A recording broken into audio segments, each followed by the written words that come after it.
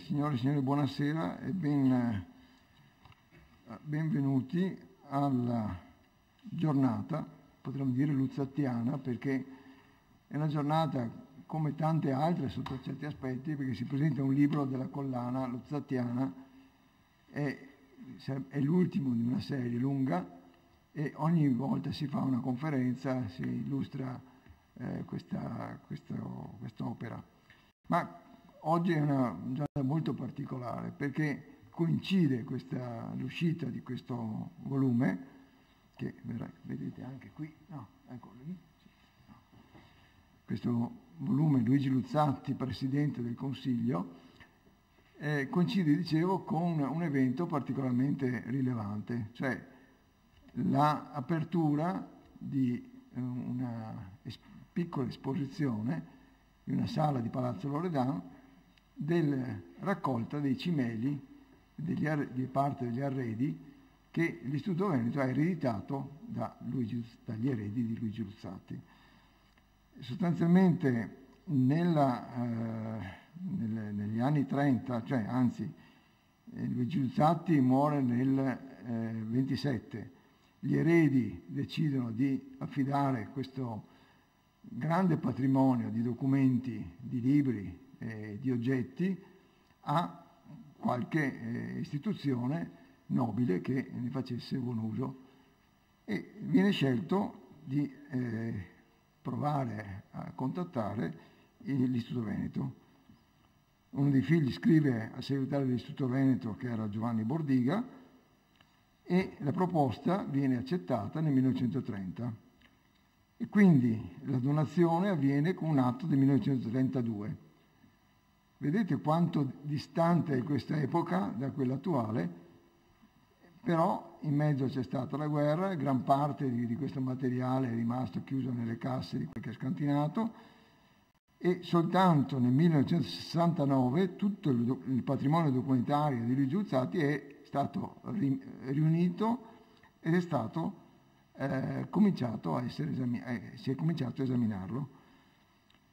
Dopo un primo lavoro di riordino sono stati eh, conservati 250 faldoni, 50 stampati, 50 di corrispondenti e 100 relativi alla sezione tematica e nel 1982 si è cominciato a lavorare. Gli studiosi che hanno cominciato a lavorare su, questo, su questa enorme massa di documenti sono Luigi Ballini, il nostro socio che è qui presente, e l'altro socio Paolo Pecorari che eh, per ragioni di salute non ha potuto essere presente questa sera. E gli studi di queste carte eh, sono stati aiutati dalla collaborazione di Maria Gottardi e Maria Carla Monico che hanno cominciato a compilare pazientemente le schede cartacee con tutti quanti i riferimenti e così via.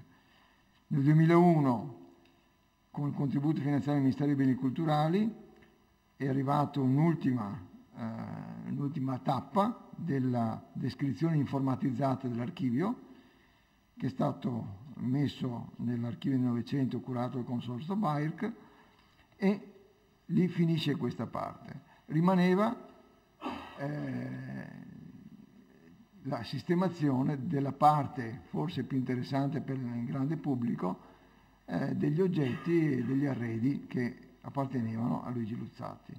Luigi Luzzatti è una figura che merita sicuramente un'attenzione particolare, non soltanto perché ha donato, cioè gli eredi hanno donato questo patrimonio all'istituto, ma che è stata una figura interessantissima della storia dell'Italia a cavallo tra la fine dell'Ottocento e il primo Novecento.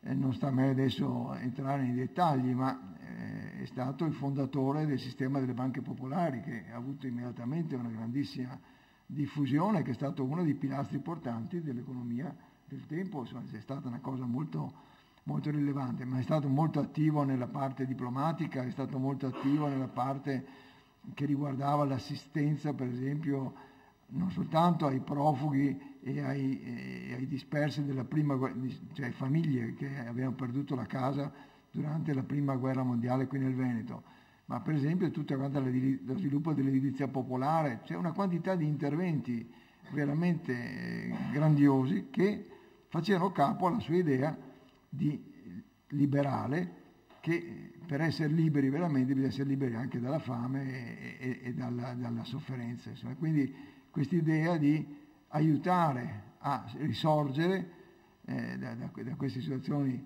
eh, molto precarie per partecipare alla vita comune del Paese. Io non, non, non mi dilungo in questo, ma sarebbe molto bello poter eh, parlare di questo. Eh, dico soltanto che adesso la Salluzzatti è stata eh, riordinata, eh, messa a posto e resa adesso diciamo, con un aspetto molto gradevole per la visita di chi la voglia vedere, dall'aiuto e dalla, diciamo, dalla, dal lavoro dell'architetto Fulvio Caputo del studio CEC che ha curato l'allestimento e, e dal professor Mezzaroba che ha fatto il catalogo delle medaglie. Però eh, bisogna riconoscere la Banca Popolare di Vicenza, e qui c'è il Cavaliere Zonin, eh, con cui parlai insieme con, eh, con il dottor Franchini del suo studio alcuni anni fa, che ha dato eh, generosamente un contributo alla Banca Popolare di Vicenza, eh, credo consapevolmente perché eh, questa figura di Luigi Luzzati doveva essere ricordata e ricordata anche in particolare nel Veneto dove molte banche popolari, eh, quelle di Vicenza in particolare adesso, ma anche altre sono, no, sono sorte e hanno operato nel passato. Quindi io eh, chiuderei qui il, diciamo, questa prima introduzione dicendo che la, eh, l'interesse di, di, questa, di questa giornata è anche testimoniato dal fatto che hanno mandato l'adesione, eh, ci hanno mandato l'adesione a questa celebrazione, l'onorevole Giancarlo Galan, Presidente della settima Commissione di Cultura, Scienza e Istruzione della Camera dei Deputati, l'onorevole Flavio Nardelli, Segretario della settima Commissione di Cultura, Scienza e Istruzione della Camera dei Deputati, e l'onorevole Flavio Zanatti che ho citato per ultimo, non per primo, perché devo leggere il messaggio che gentilmente ci ha mandato eh, dice l'onorevole Zanonato, purtroppo non posso essere stato presente, non posso essere presente alla vostra iniziativa per concomitanti impegni istituzionali.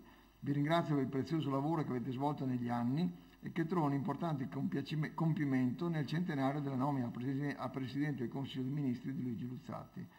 Luigi Luzzatti sottolineo con voi la capacità di rendere effettiva la democrazia andando a incidere nel miglioramento concreto delle condizioni materiali delle persone Luzzati fu infatti artefice di politiche che hanno consentito a masse popolari sempre più vaste di accedere a condizioni migliori e di ricevere un'istruzione adeguata.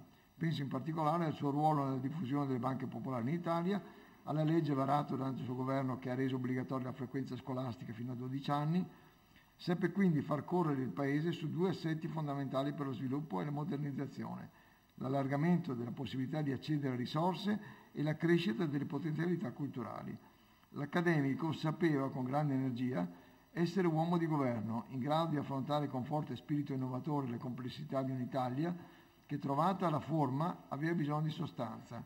E mi piace sottolineare oggi che lavoriamo al progetto della costruzione degli Stati Uniti d'Europa, anche l'uomo di Stato che grazie alla sua fervida curiosità intellettuale seppe costruire contatti, relazioni idee con una parte della cultura europea. In questo senso fu sempre precursore uomo in grado di tracciare solchi sui quali abbiamo camminato e tuttora camminiamo. Studiare l'opera è quindi uno stimolo per tutti noi e un'azione che va a migliorare con misure puntuali e misurabili la vita reale delle persone. Ancora grazie per quanto fate, tenere vive, studiare e ripensare le migliori idee che hanno costituito l'Italia è un'opera essenziale per dare, per dare linfa al futuro di tutti noi. Un cordiale saluto, Flavio Donato, Ministro dello Sviluppo Economico. Ecco, con questo diciamo... Eh, chiudo questa parte di saluti. Eh, do il benvenuto all'ingegnere Federico Potremoli, che è il nipote di Luigi Luzzati, che ha avuto la bontà di venire a partecipare a questa, a questa serata. E eh, cito il comitato scientifico dell'Equivo Luzzati, di cui sono i soci Pierluigi Ballini e Paolo Pecorari, che ho già citato, e il cancelliere, dottor Sandro Franchini, che insieme a loro ha eh, proceduto a questa opera veramente all'inizio mastodontica che pian piano però è riuscita a vedere la luce eh, alla fine. E, e, ringrazio ancora eh, la dottoressa Carla Monico di cui ho già detto e il dottor Carlo Urbani che è responsabile del servizio di studi degli archivi che ha molto lavorato in questi ultimi tempi per la, questa, eh, questo rush finale per arrivare a presentare eh, adeguatamente alla sala Luzzatti. Detto ciò, darei la parola alla, eh, al Presidente della Banca Popolare Vicenza, Cavaliere Giovanni Zoni, Giovanni, Gianni Zoni, mi scusi, eh, per se vuole dire qualche cosa. Ecco.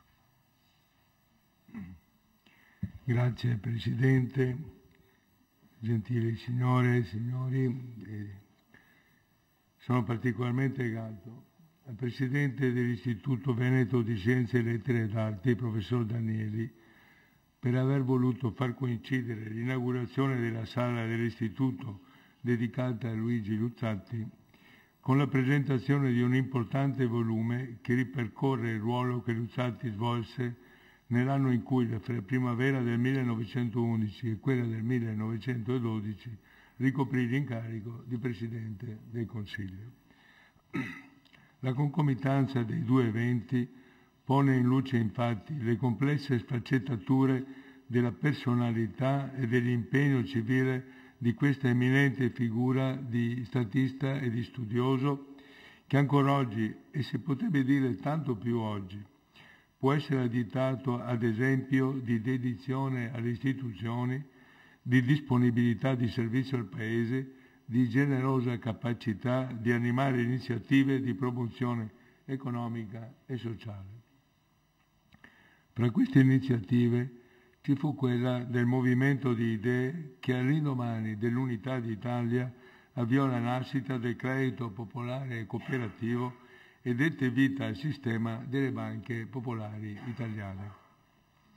Già questa sua paternità ideale e morale del sistema delle popolari, di cui la Banca Popolare di Vicenza ancora oggi popolare e cooperativa è espressione, motiva l'intervento assicurato nostra, dal nostro istituto per consentire di riunire e riordinare in una sala di Palazzo Loredan il ricco lascito di carte, libri e ricordi personali dello statista pervenuto dai suoi eredi all'Istituto Veneto di Scienze, Lettere ed Arti. Ma c'è molto di più e di più profondo che lega alla nostra banca la figura di Luigi Luzzatti. E non è solo per il fatto che Luzzatti rivestì il ruolo di presidente onorario della Banca Popolare di Vicenza per moltissimi anni, ma soprattutto perché la Popolare di Vicenza deve proprio a lui, in modo diretto e speciale, la sua nascita come prima banca popolare del Veneto e il suo primo avvio di sviluppo. L'occasione odierna è, motivo, è stata motivo anche per la nostra banca di rileggere e ricostruire questo rapporto e sono particolarmente grato al Presidente Danieli per averci offerto questa opportunità. Non è casuale che nell'ordine di fondazioni delle banche popolari sorte nel Veneto, all'indomani della sua annessione all'Italia, avvenuta nel 1866, quella di Vicenza figuri per prima.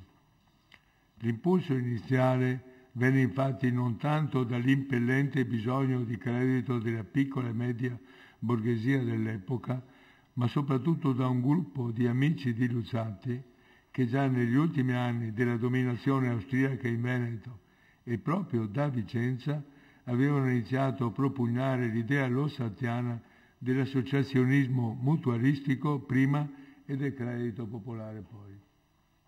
Al vertice di questo gruppo di amici di Luzzatti c'era Fedele Lampertico, vicentino, zio acquisito di Antonio Fogazzaro e più tardi senatore del Regno d'Italia. Quella fra Lampertico e Luzzatti fu un'amicizia lunga e feconda, come testimonia un carteggio fittissimo solo in parte ancora oggi esplorato e fu a Lampertico che Luzzatti ispirò prima la costituzione della Società Generale di Mutuo Soccorso, ancora oggi attiva a Vicenza, e poi la nascita della Banca Popolare di Vicenza. Due anni prima della fondazione del nostro istituto, nel dicembre del 1864, Luzzatti scriveva testualmente a Lampertico, a Vicenza fonderete una banca popolare? non deve essere difficile farla fiorire sul tallo della società del mutuo soccorso. Intanto non potresti iniziare il prestito d'onore in seno alla società del mutuo soccorso? Come si intuisce da queste parole, l'interesse di Luigi Luzzati perché la prima banca popolare del Veneto nascesse proprio a Vicenza non era un interesse solo accademico. Luzzati sostenne da vicino il gruppo di soci vicentini impegnati a dar vita alla nostra banca e addirittura venne più volte di persone a Vicenza nei mesi cruciali della predisposizione delle pratiche necessarie all'autorizzazione del suo statuto. Il 19 agosto 1866, a un meno da un mese dall'approvazione dello statuto, Luzzati ne parlò perfino durante una sua lezio magistrali al Teatro Olimpico e i giornali locali dell'epoca commentarono la scelta del tema sottolineando che non poteva trattarsi argomento di maggiore opportunità per Vicenza. Il suo pressing sui vicentini, perché la popolare di Vicenza iniziasse ad operare, fu oggetto anche di un curioso equivoco con Lampertico. Ignorando che finalmente l'approvazione dello statuto della banca era avvenuta il 12 settembre, le poste anche allora evidentemente non erano puntualissime, Luzzati scrive a Lampertico una lettera datata 10 ottobre dal tono molto risentito. Scriveva così, tu non propugni il mio programma, tu non dai vita alla nascente banca mutua di Vicenza. Gli scrive testualmente e prosegue, scrivimi subito a Venezia e dimmi se posso venire a Vicenza per dare opera attiva alla banca mutua popolare parlando con i soli promotori. Nei mesi successivi, quando finalmente la Popolare di Vicenza iniziò la sua attività, Luzzati non cessa di dare consigli e suggerimenti, incoraggia ad ampliare la cerca di soci, interviene in modo possibilista sul numero massimo di azioni da possedere da parte dei soci, sollecita un ruolo di banca locale indipendente e che raccolga ed impieghi sul territorio in cui è chiamata ad operare. Insomma, per la storia della Popolare di Vicenza, Lussati non è solo l'ideologo, de, l'ideologo del credito popolare cui la banca si ispira, ma è davvero un padre sollecito ed attento. L'assemblea, scusate, l'assemblea dei soci della banca intanto, fin dalla prima assemblea del dicembre del 1866, delibera di nominarlo presidente onorario dell'istituto. Luzzati accoglierà formalmente questa nomina solo 30 anni più tardi, nel 1897, e manterrà questo titolo per i successivi 30 anni fino alla sua morte. Concludo questo mio intervento che spero abbia consentito di comprendere come sia un onore per la banca che presiedo legarsi al progetto che vede finalmente fruibile il lascito Luzzati dell'Istituto Veneto di Scienze, Lettere ed Arti, citando ancora un elemento che emerge dal carteggio lampertico Luzzati. In molte sue lettere Luzzati si firma proprio presidente onorario della Banca Popolare di Vicenza e nel nostro archivio è conservata una sua foto autografata con la dedica agli amici della Popolare di Vicenza. È una conferma che compatibilmente con i suoi impegni di statista, Luigi Luzzati conserverà sempre per la nostra e la sua Banca Popolare un'amicizia ed affezione che ancora oggi noi tutti le ricambiamo. Grazie per la vostra attenzione.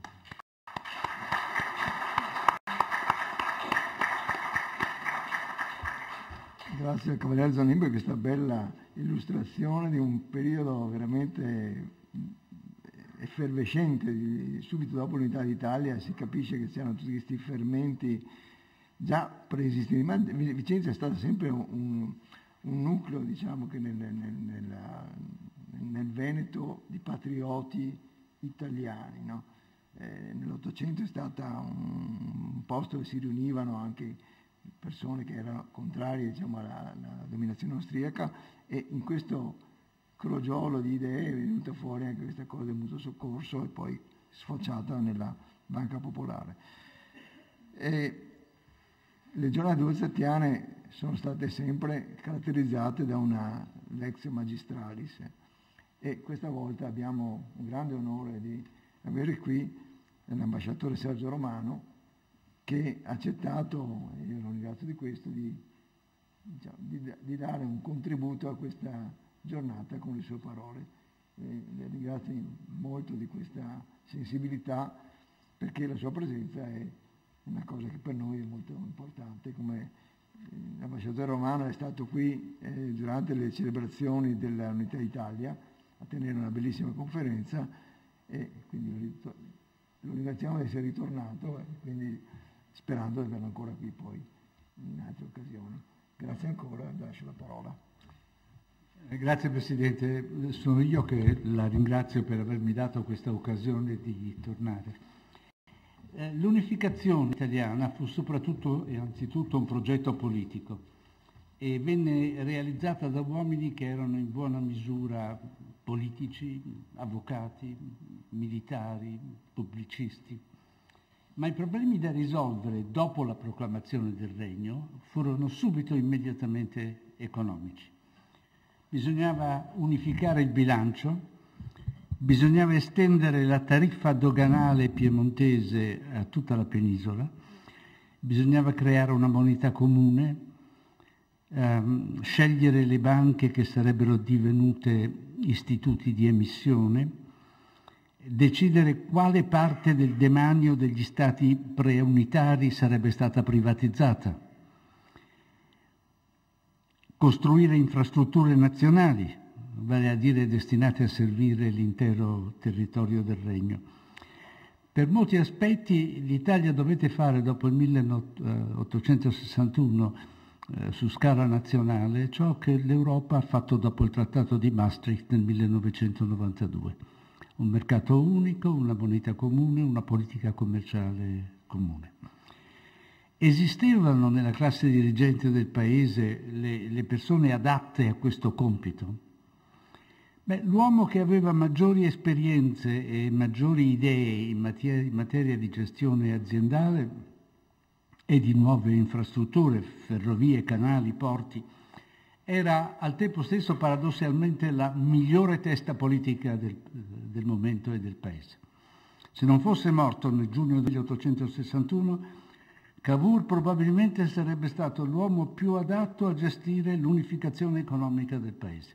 Bettino Ricasoli aveva polso, carattere, cultura, ma nella sua veste di proprietario terriero era un signore feudale. Eh, Marco Minghetti conosceva l'Europa, aveva un'acuta percezione dei problemi politico-amministrativi, il rapporto dei partiti con la pubblica amministrazione, ma in realtà era soprattutto un uh, uomo politico Certo, se, avuto, se avesse avuto maggiore tempo per esercitare il potere, forse avrebbe fatto dell'Italia un paese meno centralizzato di quanto non fu dopo la legge di Urbano Rattazzi. Ma ripeto, era soprattutto un uomo politico. Gli economisti, gli industriali e i banchieri erano tutto sommato una piccola minoranza. Stefano Iacini eh, si era segnalato all'attenzione di Cavour con uno studio sulle condizioni economiche del Lombardo Veneto sotto l'amministrazione austriaca, ma era soprattutto uomo di studi. Carlo Cattaneo tenne il broncio al nuovo Stato perché non era abbastanza federale, preferì diventare svizzero, ma insomma era anche lui un intellettuale. Eh, fra le persone di indubbia competenza economica e finanziaria vi furono certamente eh, Carlo Bastoggi e Quintino Sella. Il primo, eh, Bastoggi, creò il grande libro del debito pubblico, in cui vennero iscritti tutti i debiti vecchi e nuovi dello Stato unitario e mise sul mercato un titolo nuovo che venne immediatamente scambiato contro i vecchi. Il secondo, Sella, fu tre volte ministro delle finanze, amministrò il bilancio dello Stato come quello della sua azienda biellese, fu privatizzò molti beni confiscati alla Chiesa e aumentò considerevolmente la credibilità finanziaria dell'Italia sui mercati finanziari.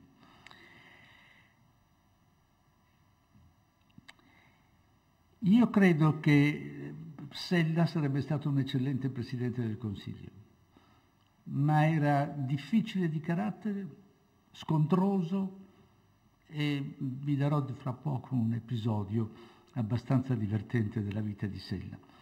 Comunque, Sella fu anche un eccellente maestro, maestro di coloro che avrebbero l'occasione di lavorare con lui e fra questi vi fu certamente anche Luzzatti il quale fu al tempo stesso eh, di, eh, allievo di Minghetti e di, e di, Sella.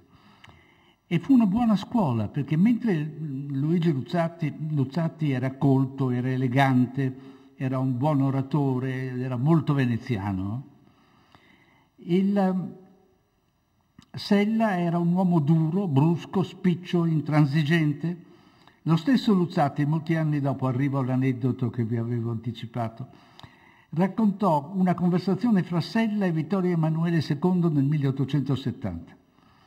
Quando apprese che il re voleva l'intervento militare dell'Italia a fianco della Francia contro la Prussia nel 1870, questa era la volontà di Vittorio Emanuele II, Sella gli disse senza peli sulla lingua che quella decisione avrebbe avuto per effetto un danno irreparabile. L'aneddoto, raccontato peraltro da Sella, forse l'avrà un po' esagerato, ma l'aneddoto vuole che Vittorio Emanuele si sia arrabbiato e abbia replicato crede lei che si debba condurre lo Stato come una fabbrica di panni? Altri avrebbero taciuto, ma Sella rispose, Maestà, tanto nel condurre lo Stato come una fabbrica di panni, il mio principio è di guadagnare onestamente, sempre, e di non perdere mai. E qui non c'è che da perdere. Sella aveva ragione e il re, dopo le sconfitte francesi, dovette segretamente ammettere che era stato ben consigliato. Nel raccontare quell'episodio, Luzzatti aggiunse che vi erano allora ministri decisi a lasciare il potere quando pareva che fosse in contrasto con la loro dignità personale, nella sola tutela dell'onore di patria, strano riscontro con altri ministri che si videro dopo. Devo dire per verità eh, e per onore alla storia che tutte le generazioni hanno detto questo della generazione precedente. Nato austriaco nel 1841, Luzzatti aveva sette anni nel 1848 quando Daniele Manin suscitò per qualche mese la Repubblica di San Marco. Ne aveva 18 nel 1859 quando scoppiò la seconda guerra di indipendenza e ne aveva 25 nel 1866 quando la sua patria veneziana divenne italiana. Non è quindi anagraficamente un esponente della destra storica, ma ebbe per l'appunto la fortuna di collaborare con due dei suoi uomini migliori e di apparire sulla scena politica italiana nel momento stesso in cui i suoi studi economici all'Università di Padova e un'esperienza milanese molto utile negli anni seguenti eh, lo rendeva particolarmente prezioso all'amministrazione economica del paese in quel momento. E infatti nel 1869 era già segretario generale del Ministero dell'Agricoltura, dell'Industria e del Commercio e conservò l'incarico accanto a Quirino Sella quando il governo mm, si trasferì da Firenze a, a Roma. Dovette aspettare i 30 anni per entrare alla Camera, allora non si poteva essere eletti al Parlamento prima, e la sua carriera da allora fu una via di mezzo fra quella del parlamentare e del Grand Commis, scelto per progetti nazionali, missioni internazionali che segnano passaggi importanti nella storia di un paese che era stato da poco unificato. Verso la fine degli anni 70 eh, collaborò alla redazione della nuova tariffa doganale semiprotezionista al rinnovo dei trattati commerciali con Francia, Svizzera e Austria-Ungheria e con Marco Minghetti alla prima legge bancaria italiana. Nel 1881 fu capo della delegazione italiana alla conferenza monetaria di Parigi, quella sull'uso dell'argento negli scambi internazionali, e nel 1885 ebbe le stesse funzioni quando fu necessario rinnovare il trattato per l'Unione Monetaria Latina. Credeva alla libertà del commercio internazionale, ma nel 1887, quando Francia e Germania adottarono politiche protezioniste, dovette arrendersi alle circostanze e lo fece difendendo gli interessi dell'agricoltura italiana, dei lanieri veneti, delle banche, fra cui purtroppo anche quella romana di Bernardo Tanlongo, e delle acciaierie di Terni.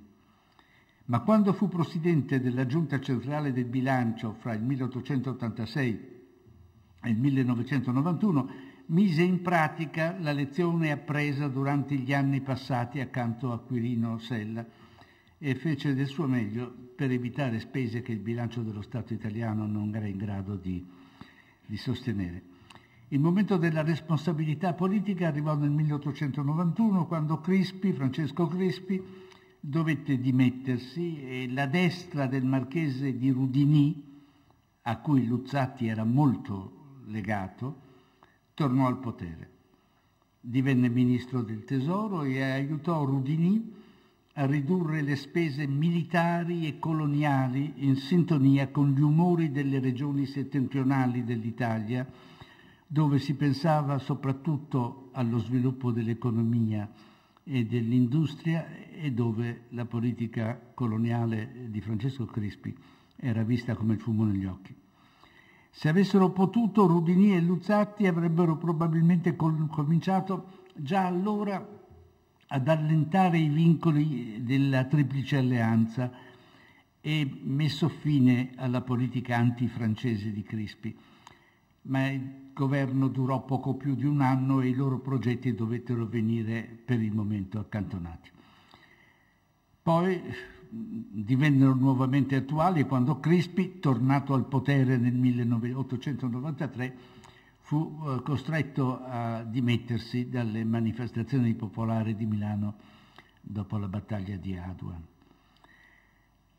La sconfitta di Adua nel marzo del 1896 fu certamente una brutta pagina di storia nazionale, anche perché lasciò nel paese uno strascico di risentimenti che avrebbero alimentato il peggiore nazionalismo italiano nei decenni seguenti.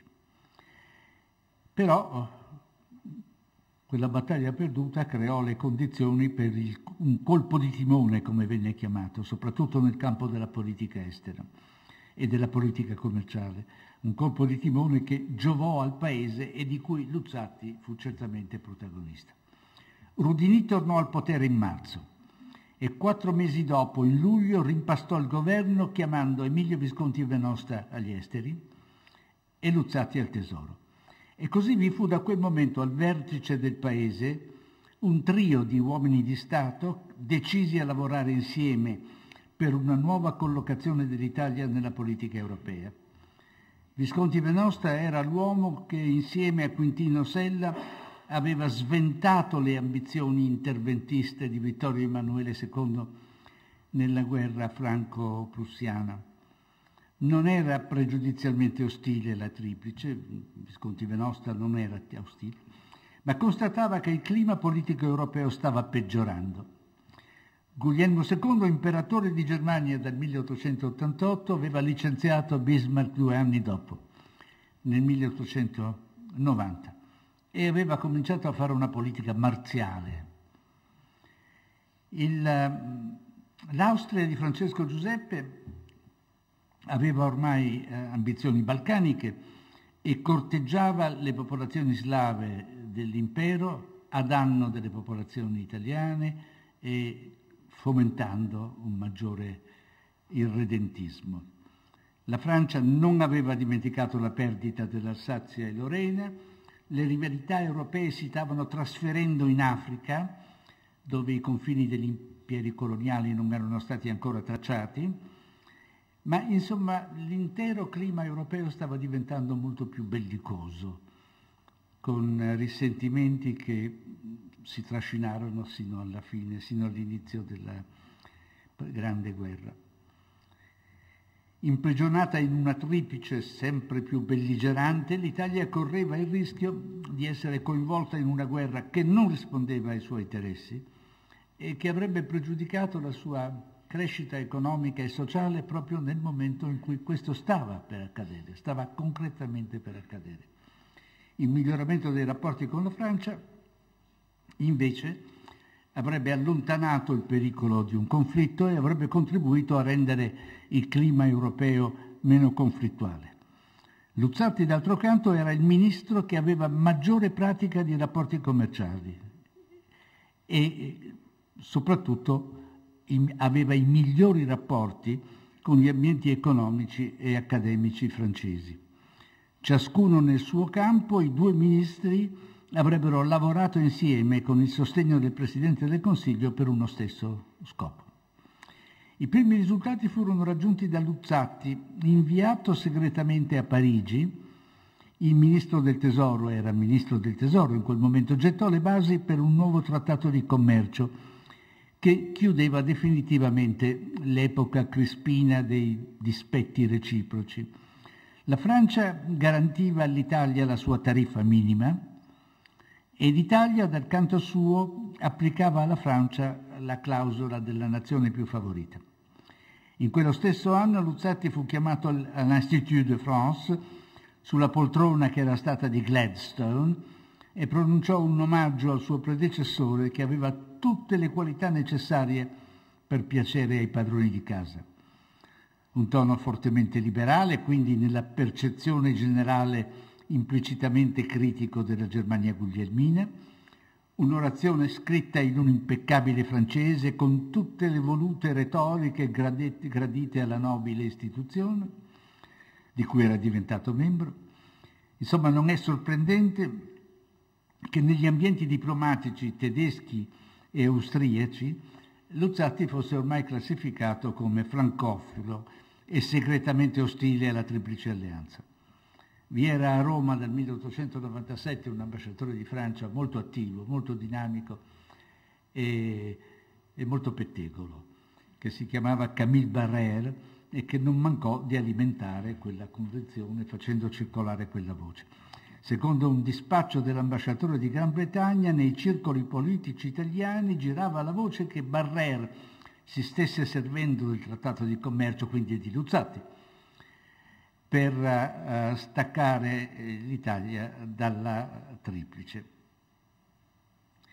I buoni rapporti eh, stretti da Luzzatti con gli ambienti francesi gli resero un considerevole servizio nel momento in cui si mise al lavoro per un'operazione che sarebbe piaciuta a Quintino Sella, la conversione della rendita italiana allora quasi interamente negoziata sul mercato finanziario di Parigi.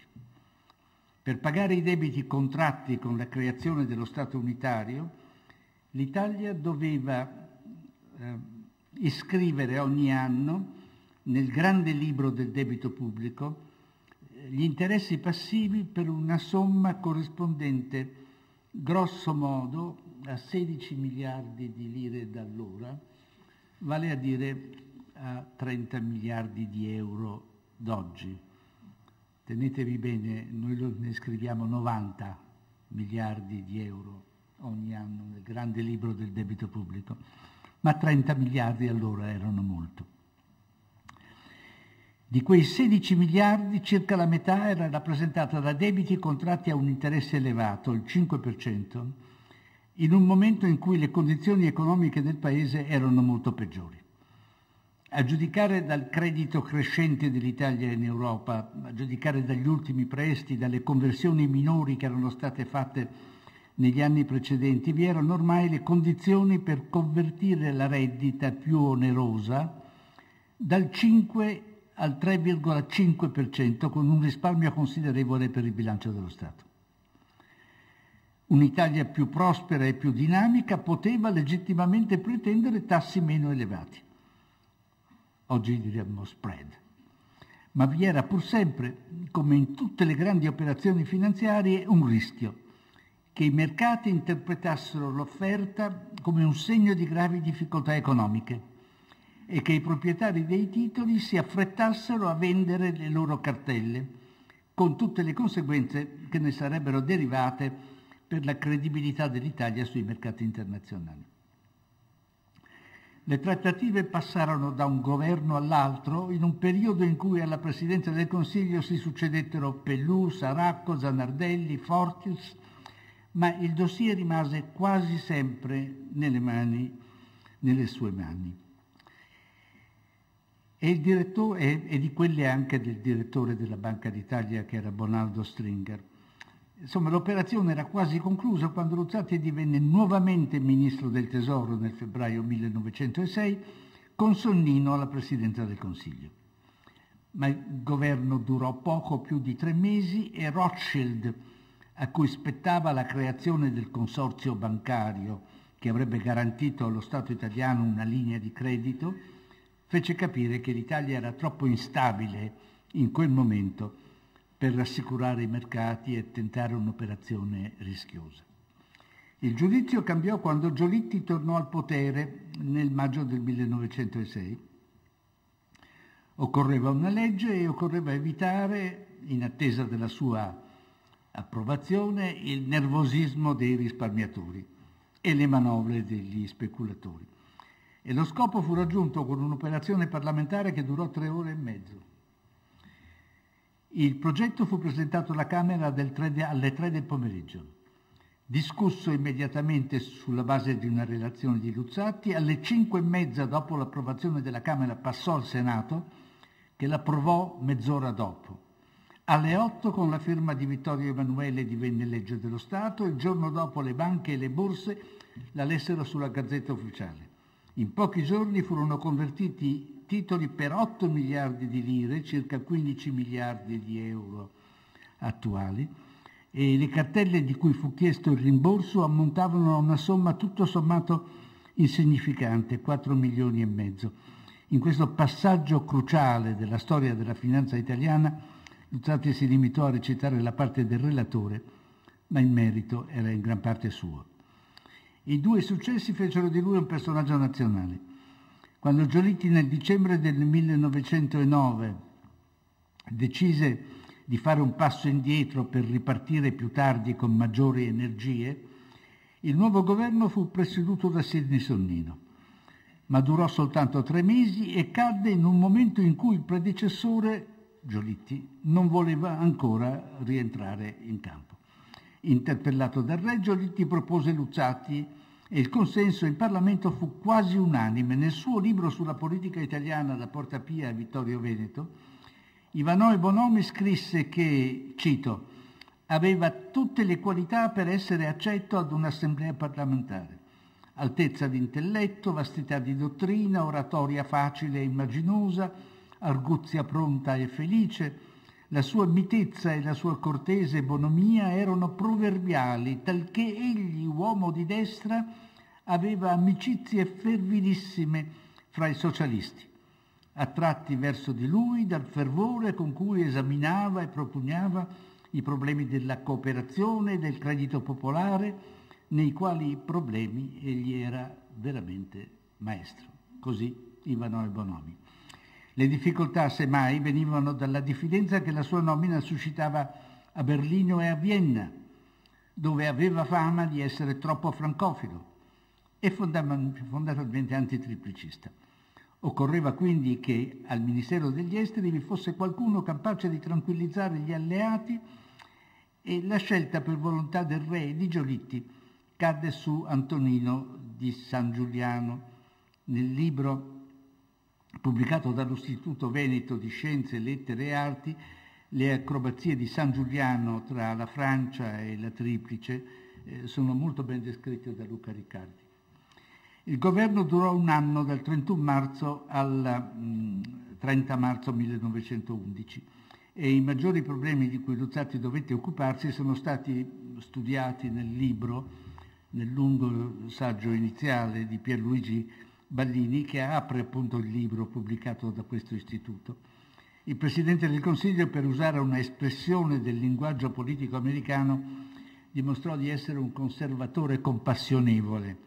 Ammirava la Francia e aveva avuto una parte considerevole nel colpo di timone con cui Di Rudini aveva ampliato gli orizzonti della politica estera italiana, ma la sua politica economica e sociale doveva molto a Bismarck e al socialismo della cattedra e più generalmente alla cultura tedesca del momento. Il suo impegno per la diffusione delle banche popolari e il suo contributo alla creazione della Cassa nazionale di previdenza per l'invalidità e la vecchiaia sono soltanto alcune delle ragioni che lo rendevano gradito ai socialisti e fu questa probabilmente la ragione per cui Sonnino nei suoi governi lo volle al Ministero del Tesoro. Forte e autorevole in materia di politica economica e sociale, Luzzati non aveva la destrezza politica di Giolitti nelle questioni che suscitavano le emozioni e le passioni politiche nazionali. Avrebbe dovuto allargare il suffragio con una nuova legge elettorale, ma si trovò alle prese con una matassa particolarmente imbrogliata. I socialisti volevano il suffragio universale, mentre i conservatori e il gruppo dei giolittiani temevano che avrebbe giovato soprattutto alle sinistre. Luzzatti tentò una via di mezzo e propose al Parlamento una legge che presentava due caratteristiche. Il suffragio sarebbe stato allargato a tutti coloro che sapevano scrivere almeno qualche parola e il voto sarebbe stato obbligatorio, come già del resto accadeva in altri stati, fra cui Belgio e Svizzera. La proposta sarebbe dovuta piacere a tutti, ma i socialisti si opposero al voto obbligatorio perché temevano, come scrisse ancora Bonomi, quella massa apatica e indifferente che appunto per questa sua indole fugge le novità e se è costretta a votare vota per i conservatori. Pur concepita con le migliori intenzioni, insomma, la legge avrebbe favorito i socialisti nelle regioni che erano maggiormente alfabetizzate, ma li avrebbe sfavoriti dove le masse potevano essere più facilmente manipolate dai notabili. Era un'ulteriore conferma della dualità dell'Italia e del principio valido anche ai nostri giorni, secondo cui le leggi che vanno bene per il nord non vanno necessariamente bene per il sud. Giolitti tagliò corto, lasciò intendere che l'unica soluzione possibile era il suffragio universale, temperato da qualche limitazione, ma senza voto obbligatorio. E invitò la Camera a votare contro la proposta di legge eh, di Luzzatti. Il governo cadde e Giolitti, come era nelle sue intenzioni, tornò al potere. La riforma della legge elettorale sarebbe stata fatta dal suo governo e gli italiani che andarono alle urne nel 1913 furono 5 milioni e 100.615, soltanto il 60% degli aventi diritto, ma abbastanza per raddoppiare il numero dei socialisti alla Camera dei Deputati. Fra le ragioni che spinsero Giolitti a decretare la fine del governo Luzzatti vi sarebbe stata anche la guerra di Libia, in un libro molto leggibile, ma forse un po' troppo colorito. Giovanni Ansaldo descrive una casuale conversazione fra Giolitti e un giornalista in una serata romana del febbraio 1911, poche settimane prima della caduta del governo Luttati. Parlando del Presidente del Consiglio, Giolitti avrebbe detto Luzzatti è un'anima timida, intendeva dire che non era la persona adatta ad affrontare con le armi il problema della presenza italiana sulla quarta sponda? Per molti italiani d'oggi suppongo che quella fase, anima timida, suonerebbe quasi come un complimento. Nell'anno passato alla Presidenza del Consiglio dovette anche affrontare il problema dei rapporti con la Chiesa, fra lo Stato e la Chiesa. Il tema delle religioni gli era particolarmente chiaro.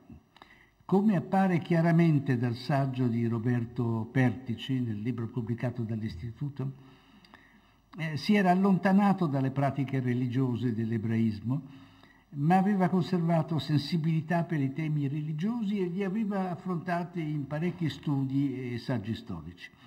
Quando Romolo Murri in Parlamento agitò il problema della riforma della Chiesa e Filippo Meda quello della conciliazione fra lo Stato e la Santa Sede, Luzzatti si sottrasse a una discussione che avrebbe agitato gli animi senza produrre risultati apprezzabili. Ma aveva le idee chiare e sintetizzò il suo pensiero con una formula ancora più liberale di quella di Cavour. Libere religioni nello Stato sovrano. È un po' di più che non libera Chiesa in libero Stato. Sapeva che gli italiani erano quasi tutti cattolici, non ignorava il ruolo della Chiesa nella storia del paese, era affascinato dal movimento modernista ed ebbe rapporti di amicizia con i suoi esponenti italiani, ma la libertà di culto e di coscienza non poteva essere octroyée, elargita come le costituzioni ottocentesche. Luzzatti non avrebbe mai sottoscritto il primo articolo dello Statuto albertino, là dove si afferma che la religione cattolica è la religione dello Stato e che gli altri culti sono tollerati. E non avrebbe mai approvato la condiscendente legge sugli altri culti del 24 giugno 1929 emanata dopo la firma dei patti lateranensi in cui si sottolinea la particolare situazione giuridica della Chiesa cattolica che è la religione dello Stato. Lo Stato italiano, secondo Luzzatti, doveva limitarsi a proteggere tutte le religioni e avrebbe svolto il suo compito nel migliore dei modi soltanto se non avesse avuto alcuna religione.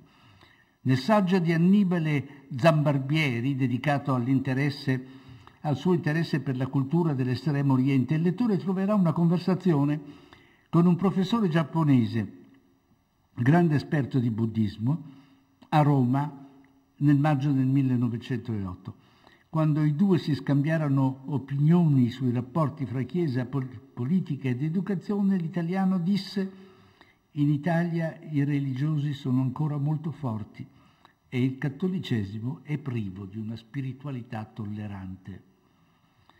Parlando di Luzzatti, signor Presidente, ho avuto spesso l'impressione che stessimo parlando di noi, i tempi sono cambiati, le circostanze internazionali sono alquanto diverse, ma l'Italia è sempre alle prese con i grandi problemi che hanno occupato la vita dell'uomo politico veneziano.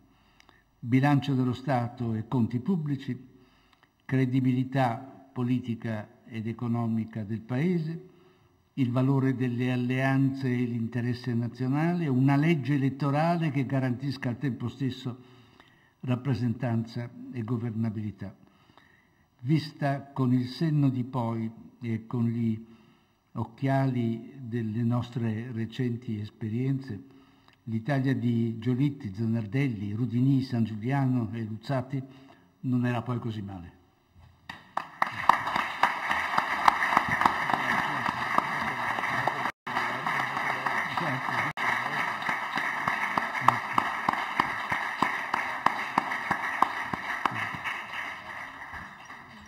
Bene, credo che l'applauso caloroso abbia segnalato quanto sia stato gradito questo intervento, lucidissimo, articolato, ricco di citazioni e soprattutto eh, che ha illustrato in maniera veramente magistrale la figura di Luzzati che oggi abbiamo ricordato. E questo è proprio, noi non sapevamo, abbiamo invitato l'ambasciatore romano, ma non sapevamo cosa avrebbe detto. Ecco. E, e questa è stata una graditissima no, verità non lo sapevo nemmeno io. Eh, è stata una graditissima sorpresa e lo ringraziamo veramente di questo. Ecco, con questo si chiude questa interessante, importante e bella serata. E da oggi abbiamo eh, un libro in più, abbiamo un museo grazie alla generosa contribuzione da parte della Banca Popolare di Vicenza, abbiamo avuto una illustrazione da parte del Presidente della Banca Popolare di Vicenza della, degli antefatti della nascita della Banca Popolare di Vicenza, quindi credo che possiamo partire da questa sala arricchiti nella nostra cultura di conoscenza, di giudizi e soprattutto diciamo di storia. Grazie a tutti e buonasera.